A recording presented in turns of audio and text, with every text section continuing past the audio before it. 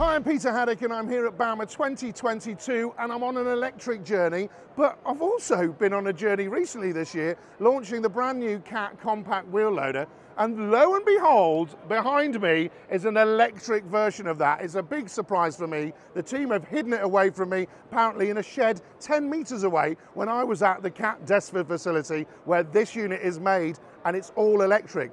But I've got a little bone to pick because I didn't know about this one, and now they've revealed it at Bauma without telling me. And I'm all plugged in now with my friend Elie Abi-karam.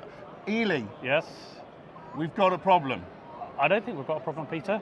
We have because I just helped you guys launch the compact wheel loader, the diesel one, and you didn't tell me we've gone all electric as well. And here it is at Bauma. Elie, where, why have we got the battery version already then? We've launched, I've seen it this week, a new pa- power pack that is Right. Caterpillar, born and bred, like the machines they make.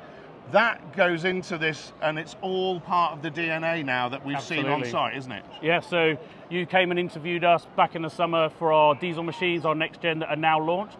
This is exactly the same machine, the same cab, same loaders, same hydraulics, same software. Now people have got a choice, Right. right? They can choose diesel, they can choose electric. That's And what is we're it trying to do. as simple as that? Are all the components that we've got in there, bar the battery and some of the other bits, they're all common components. So you, you literally get into this model, it looks the same. Absolutely. What we're what we're trying to do with this machine is we want someone who can drive a diesel machine. Yep. To drive this machine, it will have the same type of performance, the same characteristics. It's still a hydraulic drive. Yep. Still a hydraulic loader. So it is literally the choice of your power. That's what we're trying to do.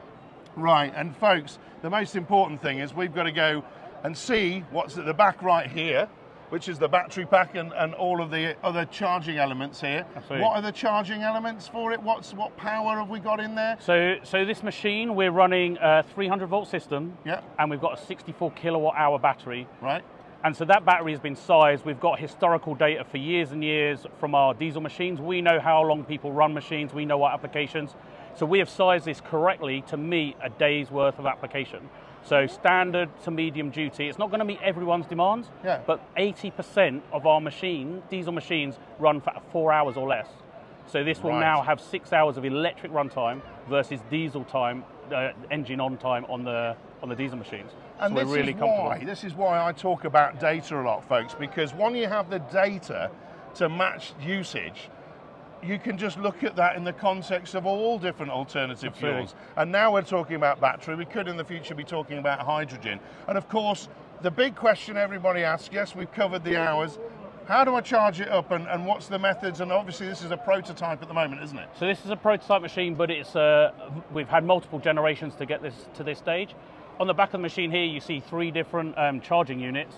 So if you charge on a single phase versus three phase, you get different um, charge levels. Yeah, so yeah. if you're if you're charging in a household socket, which is a 13 amp fuse, which Yep. we've got just here on the right, um, it will take maybe 18 hours. But you're own, you're never going to go from zero to 100. That's only an emergency. I need to charge a Yeah. little bit to get to where I need.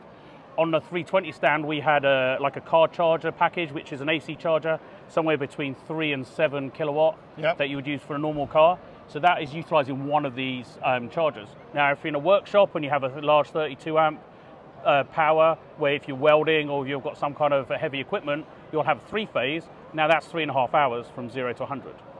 Right, so fantastic. So fundamentally, charging sorted out, usage, we've already done the maths on that. This is about optimization, you know, because you've got the battery, you're fitting it right to, for the actual applications and the usages. And so we've then got the charging. It all adds up to be just a, you can't tell the difference type of scenario. It's just that it's got a little blue on the sticker, hasn't it? Exactly, yeah. The new stickers on the side, blue with the word electric. So Yeah. that's the delta between that and the, the red diesel, the diesel machines with the red hexagons. But yeah, we want the operator to feel comfortable that they can move from one to the other. A lot of our operators are multi-skilled. They're, they're doing multiple things on the site. They're, they're not always the highly experienced operators you get in some of the larger mining or quarry machines. So we need it to be easy. We need to get in and know that it's familiar. So that's, that's what we're basically doing. And of course, the thing that Caterpillar's done, folks, is it's got their own battery technology, tested it out. You're making your own batteries, you're not getting them in from third parties. Right. So the whole thing is put together in the Caterpillar DNA. As Absolutely. End to end, and therefore things like warranties, things like um, the, the, the whole repower piece. It's all covered by everything you get from Caterpillar. The other important thing is all the software. So a lot of software development going on to make the machine perform the way we want it to perform as generation one and maybe evol- evolve future. And also the charging systems. The charging systems have been developed as well with, within Caterpillar. You've seen on some of the other stands the 48 volt Yep. DC charger and the, the large DC chargers for the bigger machines. So in the future there will be a DC charging on this machine, and that will get, get you down to less than an hour. So Oh, for every 10 minutes, every 10 minutes of charge, Yeah. you get an hour's usage. So that's t- that's a break time. Exactly. And uh, I believe you live in the UK. I do. So would you like to come and visit at some point? I think I'd like another electric moment with the team here and to see this machine being built in the UK and to see that going globally around Yeah. to transform the way people use electric in the environments, the low emission zones, quiet zones that we need. It's just fantastic to see UK manufactured product globally on a scale in Bauma here and going all electric all over the world. Thanks very much. No problem here.